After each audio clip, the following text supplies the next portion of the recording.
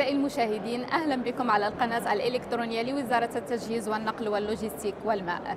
دائما في إطار تغطيتنا للدورة الخامسة للمعرض الدولي للبناء والأشغال العمومية يسعدني أن أستضيف ببلاطو القناة السيد نبيل بن عزوز رئيس الفيدرالية المغربية للاستشارة والهندسة. أهلا وسهلا بك سيد بن عزوز. أهلا وسهلا أولا سيد بن عزوز هل عرفتمونا بالفيدرالية المغربية للاستشارة والهندسة؟ بكل سرور الفيدرالية المغربية للاستشارة والهندسة هي مكونة من عدة جمعيات جمعية البناء جمعية المختبرات جمعية الاستشارة وجمعية التكوين. وينضم تحتها تحت لوائها عدة مكاتب الاستشارة والدراسات وعددهم يفوق 250 مكتب استشارة وهندسة. بطبيعة الحال لها تمثيليات على صعيد التراب الوطني ومتواجدة في جميع الجهات المغربية. نعم. وما هي يعني القيمة المضافة التي يعني يطرحها مشاركتكم في مثل هذه التظاهرات أقصد المعرض الدولي للبناء والأشغال العمومية. المشاركة في مثل هذه التظاهرات هي بعبارة هي بالنسبة لنا عمل استراتيجي ومؤسس له بحيث لنا لجنة في المكتب المسير للجامعة لنا لنا لجنة مختصة في التنظيم والمشاركة في التظاهرات العلمية والتقنية مثل هذه. نعم يعني هذا القطاع قطاع البناء والأشغال العموميه أكيد أنه يواجه تحديات كبرى يعني في المغرب. هل تحدثتم لنا عن هذه التحديات؟ وكيف تقومون في إطار الفيدرالية بمواجهتها؟ هذا القطاع هو هو يواجه تحديات بحكم تموقعه. بحيث أن القطاع هو هو عبارة عن ملتقى الطرق بالنسبة للبرامج التنموية الأخرى. كل هذه البرامج لا بد أن تلتقي في هذا القطاع لأن هذا القطاع هو يمولها بالبنيات التحتية سواء كانت طرق سواء كانت بنايات سواء كانت قناطر سواء كانت موانئ. فهو بحكم تموقعه يحاول أن يلبي طلبات ورغبات هذه البرامج. فبالفعل وبالتالي تصبح له إشكاليات أكثر ربما من القطاعات الاخرى اذا هناك تحديات. هناك طبيعة الحال تحديات أخرى ظرفية التي التي تتمثل في تحديات من نوع الرؤيه وضوح الرؤيه بالنسبة لهذا القطاع. لأن كما يقال أن هذا القطاع اذا إذا نجح فكل الاقتصاد ينجح معه.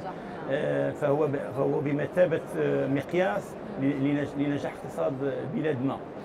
فبالنسبه للقطاع هو مرتبط بطبيعة الحال بالتمويلات بمشاريع الاستثمار وكما تعلمون أن الآن السلطات العمومية شيئا فشيئا فإنها تتناوب مع القطاع الخاص من أجل استثمار مشترك ما يعبر عليه بالتشارك الشراكات بين القطاع العام والخاص. العام والخاص. وبطبيعة الحال هذه الطريقة في في في الاستثمار والتمويل لا شك أنها طريقة المستقبل وانها أنها نموذج المستقبل. لكننا يجب علينا كقطاع عمومي وكسلطات عمومية وكناشطين في القطاع. خواص كلنا أو عموميين أن نكرس لهذه المنظومة الجديدة تفكيرا خاص لكي ننجحها وننجحها بالظروف الملائمة للخاصيات بلدنا. نعم نقطة أخرى سيد بن عزوز عن تواجد مقاولات البناء والأشغال العمومية في السوق الإفريقية نعم. هل ترون أن يعني المقاولة المغربية قادرة على منافسة مقاولات أخرى في السوق الإفريقية؟ بالطبع الجواب هو بنعم لسبب بسيط. هو أنه نظرا للمشوار الذي قطعته المقاولات المغربية سواء كانت مقاولات هندسة أو مقاولات إنجاز نظرا لمشوارها ونظرا لمجهودات التأقلم التي قامت بها حتى تنجز ما أنجزته في في بلادنا. فبالطبع هذه التجربة هي جاهزة لكي نتقاسمها مع إخواننا في في في القارة. ونتقاسمها بفكر وبطريقة آه، آه، تكون قريبة لطرق الاشتغال في بلادهم ولظروفهم لأن إحنا لأن مستوى النمو الاقتصادي في بلدنا هو أقرب لهم من مستوى بلدان قد تأتي من أوروبا أو أمريكا أو نعم. أو أنحاء أخرى هذه من ناحية من ناحية أخرى آه، نحن ربما نظرا للتجربة التي عشناها لكي ننهض بمشاريع بلادنا ولكي نتأقلم مع آه، الطرق التي وضعتها بلدان قد سبقتنا فهذه تجربة التأقلم والتحيين وإكساب آه، طابع خاص لتجربة عامة حتى نجعلها تكون ذات علاقة مباشرة ومجدية مع مع مع بلدنا. آخر سؤال سيد نعم. بن عزوز ما هي انتظاراتكم من العقد البرنامج الذي سوف يجمعكم ب يعني البرنامج الذي آه، تشرف عليه وزارة التجهيز والنقل واللوجستيك والماء العقد هو عبارة عن عن آه، عن آه، أداة تمكننا أداة مرجعية تمكننا من الارتكاز عليها كلما كان كان هناك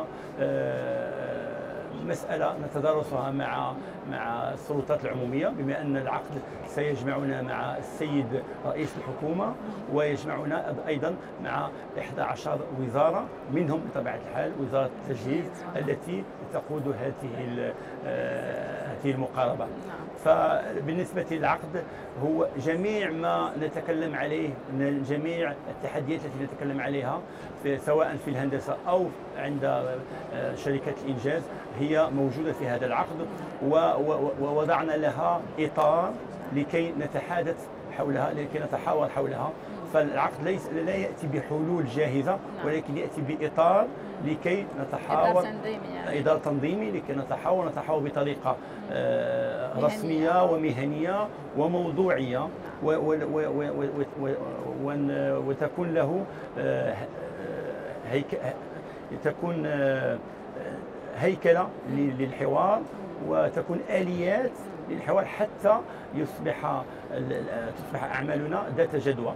ودليل على ذلك أنه آه، الاتفاق ينص على آه، لجان تتبع إنجاز الاتفاق آه، فسوف لا لا لن نوقع عليه.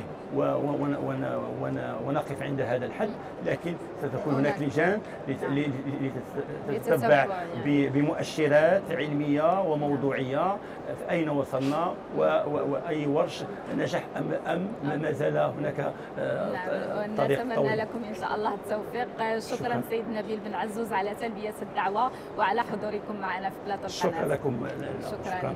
أعزائي المشاهدين شكرا على متابعتكم وإلى اللقاء.